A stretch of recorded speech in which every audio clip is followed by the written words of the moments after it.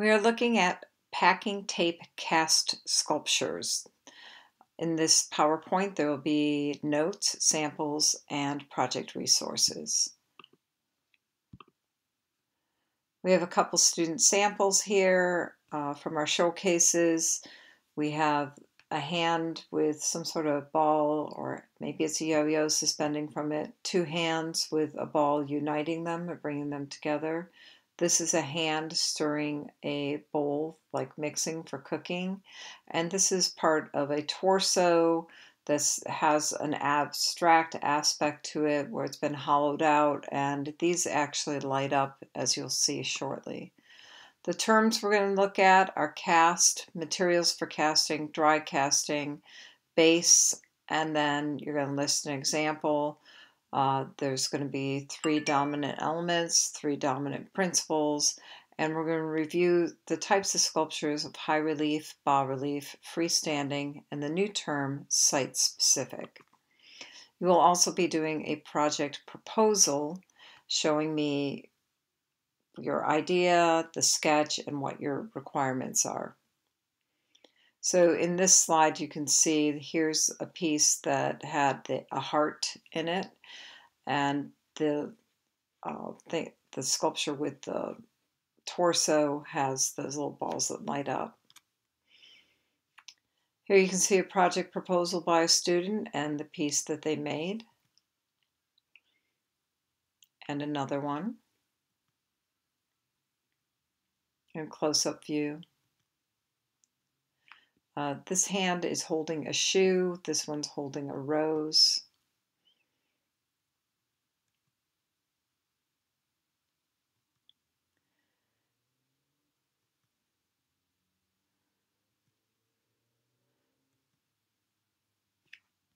All right, so for vocabulary cast, a cast sculpture is usually defined as a form made by pouring a liquid material into a mold and allowing it to harden or to become solid. Cast sculptures can be made from molten metal, cement, plastic, rubber, fiberglass, glass, water, etc. Ice cubes are an example. Tape casting is a dry casting method. You will be creating a sculpture that uses an object as a mold for plastic wrap and packing tape. So those are two um, materials.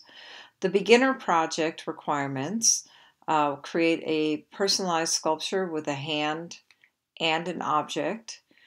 The hand must include the hand and the arm up to the elbow and at least one object.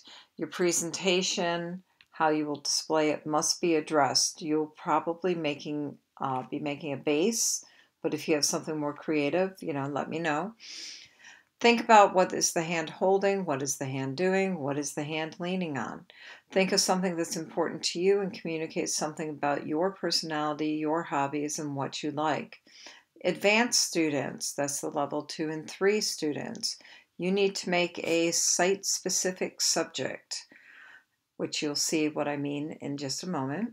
And your projects are expected to be more complex than the beginner assignment. How will your project stand? Your project must stand on its own. Create a base. A base is what the sculpture is attached, fixed, or mounted on. Your tape must be thick. If your tape is thin, your whole sculpture will collapse. Proposal options. Do you have a creative idea? Do you want to create a homecoming dress, a swimsuit, a beach bag, or accessories to go inside the beach bag? Uh, create an entire body or do something else. Just present your idea to me. Show me a sketch, uh, put some images from the internet on a Word document. Show me what you're thinking about. Here's some hints I have for making the project. Uh, when you do the packing tape, do not cut the seams straight because we can see them. Cut them at a zigzag so it matches the uh, pieces of tape in your project. So that way they're hidden, the seams will be hidden. Scissors, the video shows using a sharp blade to cut the tape off of the object. I highly recommend only using scissors due to safety issues and the possibility of damage to wrapped objects. They were using a razor blade. Uh, death, do not wrap a person's head with plastic or tape. Can't believe I have to put that in writing.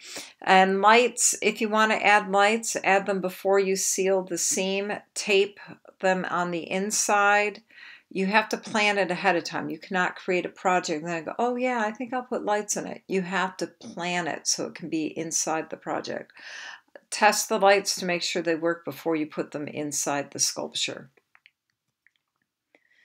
Uh, types of sculpture, this is review plus a new term. We have our high relief, uh, very 3D sculpture surface that projects from a background where they're attached to the background. Bas relief or low relief, a shallow 3D surface that projects from the background. So here we have coins, our repoussé project, and this actually has both bas relief and high relief. The new term, oh, sorry, freestanding sculpture and sculpture in the round.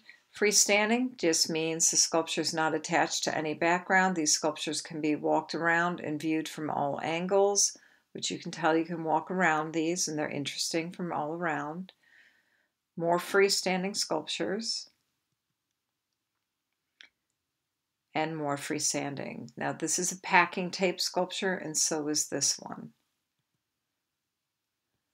Now we get to the new term, site-specific sculptures, art created with a specific location in mind, whether it's inside or outside.